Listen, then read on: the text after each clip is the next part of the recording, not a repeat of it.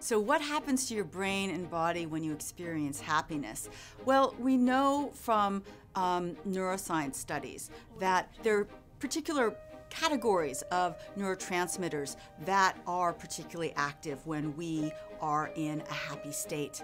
Um, neurotransmitters are ones that I'm sure you've heard of serotonin, noradrenaline, dopamine, the reward um, uh, neurotransmitter, and um, as well as endorphins, the, the morphine like substance that gets um, secreted in your brain associated with exercise. What this book does is it reminds you what you can do to be happy. It tells you about the neurobiology that's, uh, that, that's going on when you're happy and gives you these very easy to implement ideas for how to make that happen for you. I'm not saying that you need an hour a day to meditate or two hours a day to work out. I'm saying that you can start all of these different things in just four minutes a day, very, very short amount of time. Everybody has four minutes to spare. And that's how any new habit starts with a very, very small, kind of focused effort.